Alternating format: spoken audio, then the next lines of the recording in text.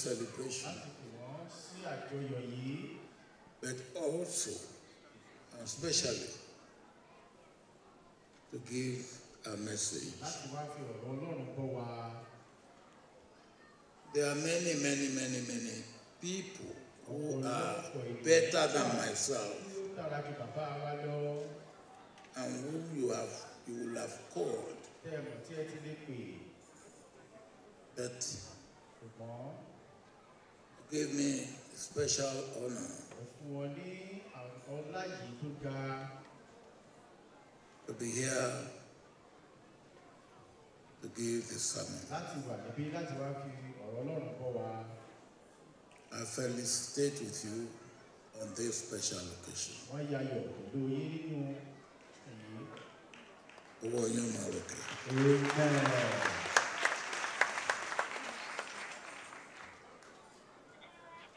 When I was invited, nígbà tí wọ́n fi ìwé pè bàbá wa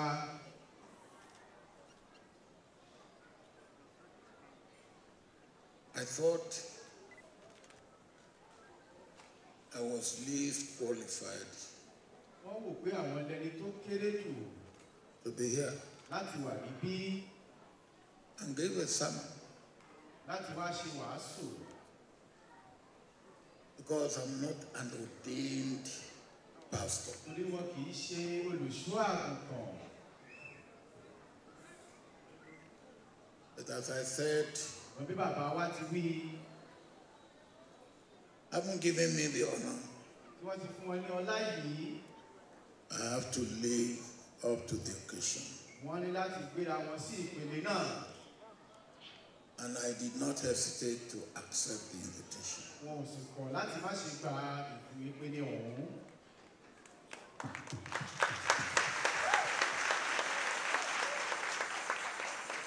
Two occasions are being celebrated. àwọn nǹkan méjì ọ̀tọ̀ tó jẹ́ ayẹyẹ la ṣe 15th year of the ministry ọdún mẹ́ẹ̀ẹ́dógún tí kristi ti wà and the first year anniversary of opening, commissioning, and dedicating this sanctuary. àti àjọ̀dún ọdún kan àkọ́kọ́ tí a ṣí gbọ̀ngàn yìí The theme for the double celebration is rẹ̀ the theme for the double celebration is harvest of testimony. òun àjọ̀dún Last year, lọ́dún tó kọjá Pastor Adeboye, who gave the sermon at the commissioning and dedication of this sanctuary, used the passage John 14 16. bàbá adébóyè kan wàásù lọ́dún tó kọjá lé ìwé johannu orí kẹrìnlá ẹsẹ̀ kẹrìndínlógún ẹsẹ̀ kẹfà And it reads Jesus answered, I am the way and the truth and the life. No one comes to the Father except through me. But Pastor Adeboye actually dwelt on I am the way, bàbá adébóyè sọ̀rọ̀ lórí pé òun ní ọ̀nà that Jesus is the way for everything in our life. jésù ní ọ̀nà fún gbogbo ní ìrìn ayé wa. And uh, I thought I should follow along àwọn òpin yẹ kí àwọn tẹ̀lé. along the path of the theme and along the sermon of Pastor Adeboye. lórí tí bàbá adébóyè sọ̀rọ̀ lé lórí So I've titled my sermon wọ́n wá pe àkórí for, ìwàásù tí for this uh, double celebration, fún ayẹyẹ ìlọ́po méjì yìí giving testimony. Giving testimony. ẹ̀rí tí a fi fún ni My first passage is found in Genesis chapter 40, verse 8. jẹ́nẹ́sísì orí ogójì ẹsẹ̀ kẹjọ And it reads, Do not, do not interpretations belong to God? Give me your dreams. That was said by Joseph joseph ló sọ èyí when he was in the prison nígbà tó wà nínú ẹ̀wọ̀n. with the chief cupbearer and the chief baker of King Pharaoh. pẹ̀lú olórí agbọ́tí ọba fáráò. And he said it to them ó sì wí fún wọn pé when they both had dreams. Nígbà tí àwọn méjèèjì láàlàá and they did not know the interpretation of their dream. wọn kò sì mọ ìtumọ̀ àlá wọn. And Joseph, jósẹ́fù giving honor to God, ó fi ọlá fún ọlọ́run. And he said, Don't do not interpretation belong to God, pé ìtumọ̀ ó jẹ́ ti ọlọ́run. Even though he is the one who was going to give the interpretation. tó sì mọ̀ wípé òun gan ni òun ó ṣe ìtumọ̀ ọ̀hún. Second passage is found in Exodus chapter 5, verses 1 and 2. ẹsẹ̀ bíbélì kejì ní ìwé ẹ́sọ́dù orí karùn-ún I read, Let my people go so that they may hold a festival for me in the desert. Who is the Lord that I should obey him and let Israel go? I do not know the Lord, and I will not let Israel go. Aaron and Moses aaroni àti mósè went to deliver God's message to Pharaoh. wọ́n lọ jíṣẹ́ olúwa fún ọba fáráò. And Pharaoh disdainfully. Fáráò sì kọ̀ jálẹ̀ and he rejected the word of God. kò sì gba èyí tí ọlọ́run tí wọ́n mú wá fún un. But not only did he reject, pé kò gbà á lásán. he said he did not know God and he didn't want to know God. And of course, he will not let Israel go.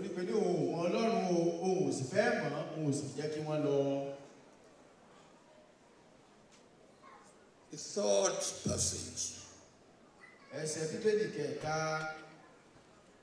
is Exodus chapter 18, verse 8. ẹ́sọ́dù orí kejìdínlógún ẹsẹ̀ kẹjọ. Moses told his father in law mósè sọ fún bàbá ìyàwó rẹ̀ about everything the Lord had done to Pharaoh, nípa gbogbo tí ọlọ́run ti ṣe sí fáráò the Egyptian and the Egyptians, àti àwọn ará íjíbítì. For Israel's sake, nítorí àwọn ọmọ ísírẹ́lì. And about all the hardships they had ìpọ́njú along the way, tí wọ́n bá lé ọ̀nà wọn gbogbo and how the Lord has saved them. àti bí olúwa ti gbà wọ́n Come to the title of my exhortation. wọ́n wá sí orí ìwàásù ọ̀rọ̀ ìgbìyànjú bàbá wa giving testimony. Ẹ̀rí tí a fi fún ni What then is testimony? kí ni ohun tí a ń pè ní ẹ̀rí Testimony is evidence given by a witness. òun ni ohun tí a fi fún ni pẹ̀lú ẹni tó lè jẹ́rìí sí nǹkan Testimony must put God first. ẹ̀rí gbọ́dọ̀ fi ọlọ́run ṣe àkọ́kọ́ As we have seen in David, uh, in Joseph, bí a ti rí nínú jósẹ́fù Joseph did, and he made God the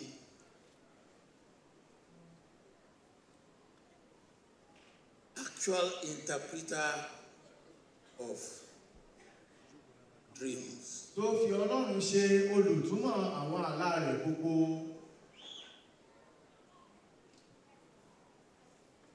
We must, in our testimony, a gbọ́dọ̀ nínú ẹ̀rí wa gbogbo. Make God look good. Ká jẹ́ kí ọlọ́run kó dára. As Moses, uh, as uh, Joseph had done. bí jósẹ́fù ti ṣe.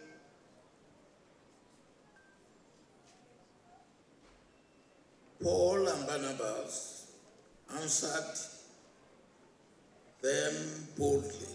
Bọ́ọ̀lù àti bárábà dáhùn tìgóyà tìgóyà First, we must give testimony and speak about God. nípa fífi ẹ̀rí tí olúwa ṣe hàn This in Acts chapter 13, verse 46. ó wà lórí àṣẹ àwọn àpòstélì orí kẹtàlá ẹsẹ̀ kẹrìndínláàádọ́ta Testimony is not showing off ẹ̀rí kì í ṣe tí ẹ̀ka máa fi hàn ṣá or pride. tàbí ìgbéraga It, has, it is an act of Christian life and Christian living. ó jẹ́ ìṣe kìrìsìtẹ́nì àti ìgbé ayé wọn It must be part of daily living experience of a Christian. ó gbúdọ̀ wà nínú ìgbé ayé ẹni tí a bá ń pè ní kìrìsìtẹ́nì Together, lápapọ̀ let us look at some reasons why we must give testimony or put another way, or put another way, what are the purposes of giving testimony? káwo lára àwọn ìdí àti tí a máa ṣe ẹ̀rí láti jẹ́ kí àwọn olùjẹ́rìísí wà níbẹ̀ pẹ̀lú. One, àkọ́kọ́. It is an act of worshiping, thanking, and praising God. ó jẹ́ ìṣe láti máa sìn láti máa dúpẹ́ àti láti máa yin ọlọ́run The Psalms are full of testimony of David, àwọn ìwé orí dáfídì kún fún ẹ̀rí ọba dáfídì worshiping, praising, and thanking God. ní olúwa dúpẹ́ lọ́wọ́ rẹ̀ àti máa sin olúwa I read, when I called, you answered me. nígbà tí mo pè ó dá mi lóhùn Psalm 138, verse 3. ìwé sáàmù one thirty eight ẹsẹ̀ kẹta Another one, I was pushed back and about to fall, bàtí a fẹ́ gbé mi ṣubú but Lord helped me. ìfọ̀ olúwa ló ràn mí lọ́wọ́ Psalm 118, verse 13. sáàmù one eighteen ẹsẹ̀ kẹtàlá rẹ̀ David's testimonies of God's greatness, immensity, and mightiness ẹ̀rí dáfídì ó ń ṣe àfihàn bí olúwa ti tóbi tó. And glory were great acts of worship. God, and with such worship, God was pleased that he called David a man after God's own heart. ní fífi ògo fún ọlọ́run àti bíbu ọlá fún ọlọ́run sì pè é ní ẹni ibi ọkàn mi. That you find in Acts chapter 13, verse 22. nínú ìwé iṣẹ́ àwọn àpọ́sítélì orí kẹtàlá ẹsẹ̀ kejìlélógún.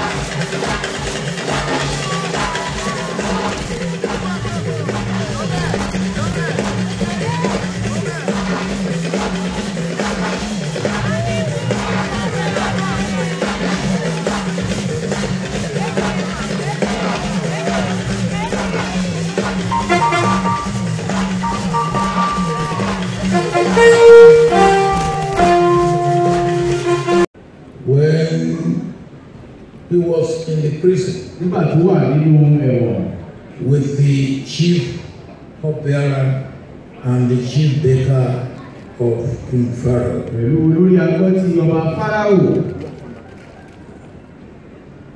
And he said it to them ó sì wí fún wọn pé when they both had dreams nígbà tí àwọn méjèèjì láàlá and they did not know the interpretation of their tí dream. wọn kò sì mọ ìtumọ̀ àlá wọn And Joseph, Jósẹ́fù giving honor to God, ó fi ọlá fún ọlọ́run and he said, Don't do not interpretation belong to God.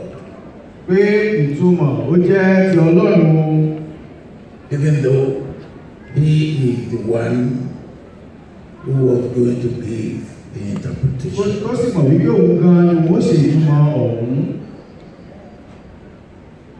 The second passage is found in Exodus chapter 5, verses 1 and 2. ẹsẹ̀ ìpínlẹ̀ kejì ìwé sórí orí karùn-ún I read, Let my people go so that they may hold a festival for me in the desert. Who is the Lord that I should obey him and let Israel go? I do not know the Lord, and I will not let Israel go. Aaron and Moses aaroni àti mósè went to deliver God's message to Pharaoh. wọ́n lọ jíṣẹ́ olúwa fún ọba fáráò And Pharaoh disdainfully fáráò sì kọ̀ jálẹ̀ and he rejected the word of God. kò sì gba èyí tí ọlọ́run tí wọ́n mú wá fún un But not only did he reject, kì í ṣe pé kò gbà á lásán he said he did not know God and he didn't want to know God. And of course, he would not let Israel ó go. ní pé ní òun ò mọ ọlọ́run òun ò sì fẹ́ mọ̀ òun ò sì jẹ́ kí wọ́n lọ. The third passage. Ẹsẹ̀ kẹ̀ka is Exodus chapter 18, verse 8. ẹ́sọ́dù orí kejìdínlógún ẹsẹ̀ kẹjọ. Moses told his father in law mósè sọ fún bàbá ìyàwó rẹ̀ about everything the Lord had done to Pharaoh, nípa ohun gbogbo tí ọlọ́run ti ṣe sí fáráò the Egyptian and the Egyptians, àti àwọn ará íjíbítì for Israel's sake, nítorí àwọn ọmọ ísírẹ́lì. And about all the hardships they had àti gbogbo along the way, tí wọ́n bá ní ọ̀nà wọn gbogbo. And how the Lord has saved them. àti bí olúwa ti gbà wọ́n Come to the title of my exhortation. wọ́n wá sí orí ìwàásù ọ̀rọ̀ ìgbìyànjú bàbá wa giving testimony. ẹ̀rí tí a fi fún ni What then is testimony? kí ni ohun tí a ń pè ní ẹ̀rí Testimony is evidence given by a witness. Òun ni ohun tí a fi fún ni pẹ̀lú ẹni tó lè jẹ́rìí sí nǹkan. Testimony must put God first. ẹ̀rí gbọ́dọ̀ fi ọlọ́run ṣe àkọ́kọ́. As we have seen in David, uh, in Joseph, bí a ti rí nínú jósẹ́fù Joseph did, and he made God the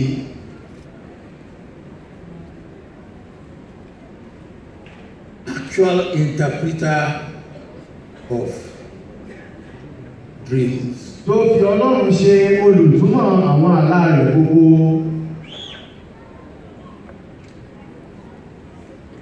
We must, in our testimony, a gbọ́dọ̀ nínú ẹ̀rí wa gbogbo make God look good ká jẹ́ kí ọlọ́run kó dára as Moses, uh, as uh, Joseph had.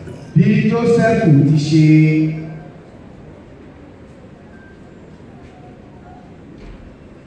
Paul and Barnabas answered them boldly. Pọ́ọ̀lù àti Bárábà dáhùn tìgbóyà tìgbóyà First, we must give testimony and speak about God. Nípa fífi ẹ̀rí tí Olúwa ṣe hàn. This in Acts chapter 13, verse 46. ó wà ìwé àṣẹ àwọn àpòstélì orí ẹ̀tàlá ẹsẹ̀ kẹrìndínláàádọ́ta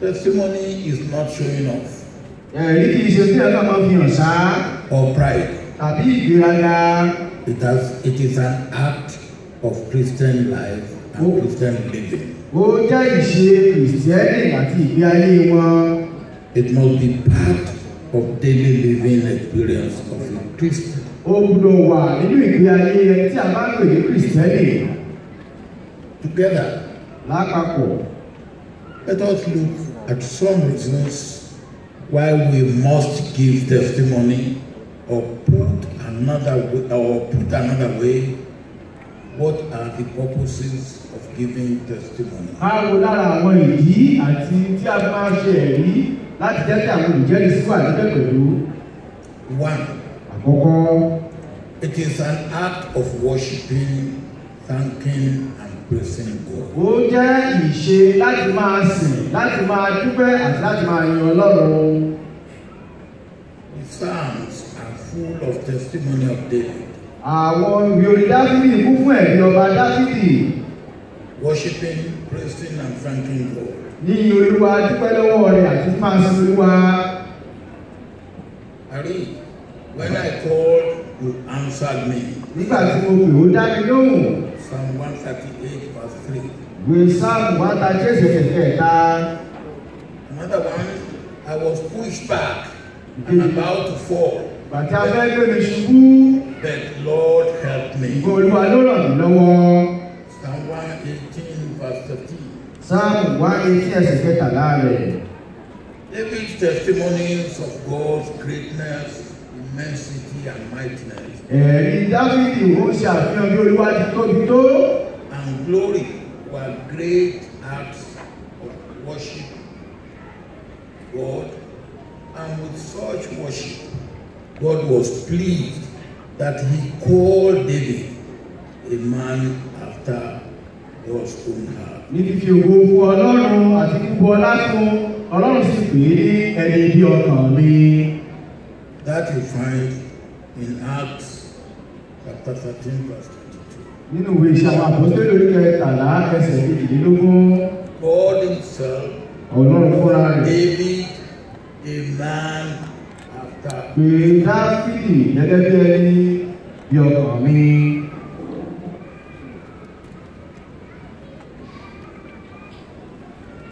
Testimonies as acts of worship strengthen our relationship with God. ẹ̀rí sísin olúwa ó jẹ́ kí a ní ohun tó gbópọn níbi àṣìṣe ọlọ́run.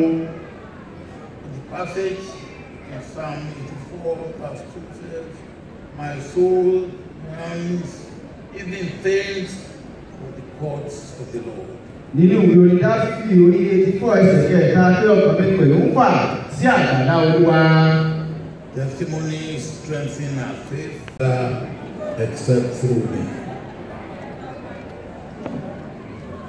But Pastor Adeboye actually dwelt on I am the way, àbádébé sọ̀rọ̀ lórí pé òun ní ọ̀nà that Jesus is the way for everything in our life. jésù ní ọ̀nà fún gbogbo ní ìrìnàjò ayé wa And uh, I thought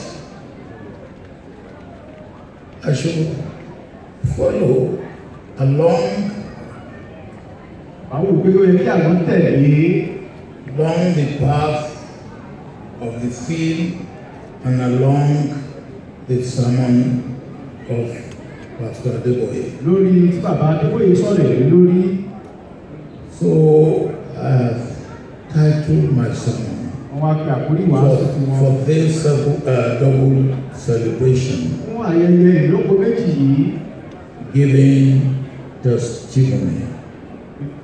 Giving testimony. ẹ̀rí tí a fi fún ni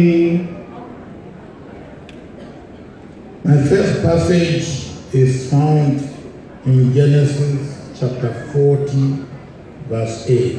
jẹ́nẹ́sìsì orí ogójì ẹsẹ̀ kẹjọ And it reads, Do not,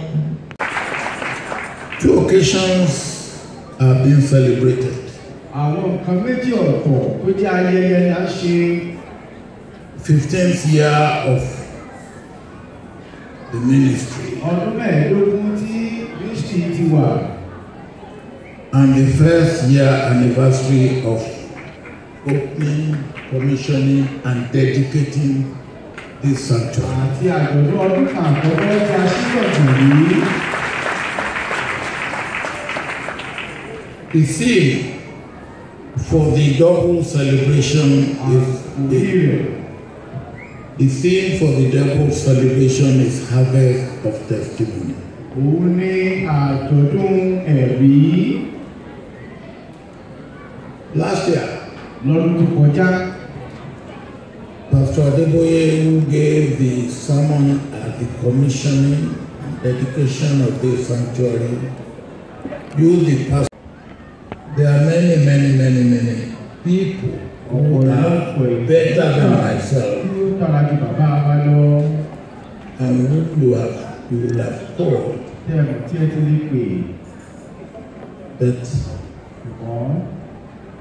gave me a special honor ẹ fún wọn ní àwọn ọlá yìí tó ga to be here to give the sermon. láti wà níbí láti wá fi ọ̀rọ̀ ọlọ́run kọ́ wa I felicitate with you on this special occasion. wọ́n yayọ̀ pẹ̀lú yín nínú yìí Owó ẹni náà.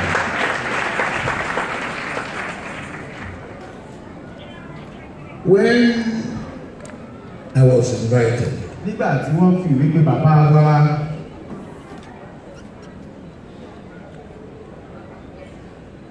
I thought I was least qualified. Wọ́n wò pé àwọn ẹlẹ́ni tó kéré jù to be here. láti wà níbí. And they were some láti wá ṣe wàásù because I'm not an ordained pastor. torí wọn kì í ṣe olùṣọ́ àgùntàn But as I said, bí bàbá wa ti wí having given me the honor, tí wọ́n ti fún wọn ní ọlá yìí I have to live up to the occasion. wọ́n ní láti gbéra wọn sí ìpele náà And I did not hesitate. Ìjábẹ̀rẹ̀. Let us pray. In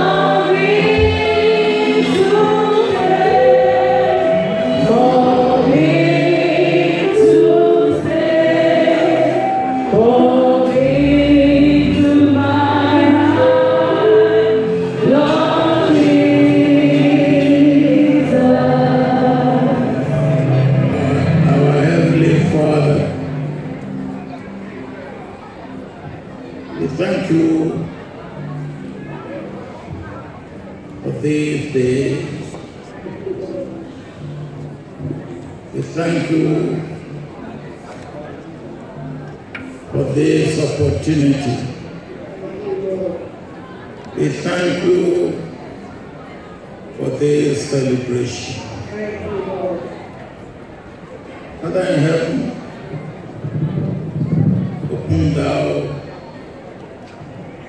our mouth. Amen. Our ears. Amen. Our minds. Amen. Our heart. Amen. To be able to behold and understand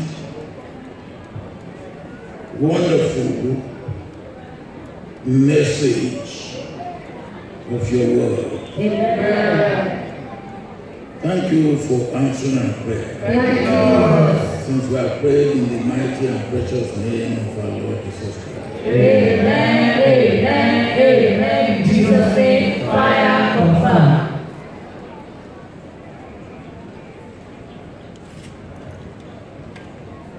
kábíyèsí. Your Majesty. Ẹ̀jẹ̀ kúlórí bàtà pẹlẹsì. Amen. என்னுடைய அங்கே தொடர்புடைய ஆசிரியர்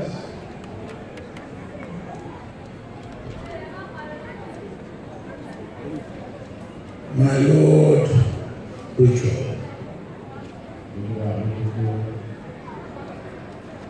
We thank you for being here.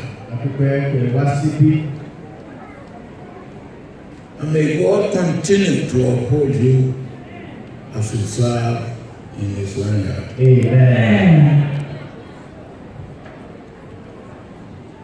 My sister.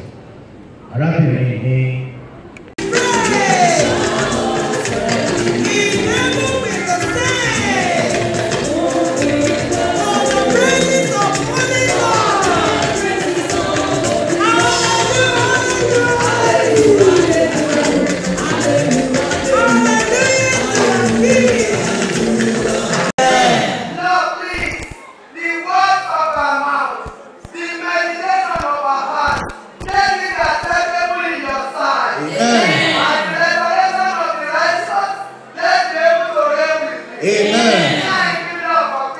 Thank you, Jesus.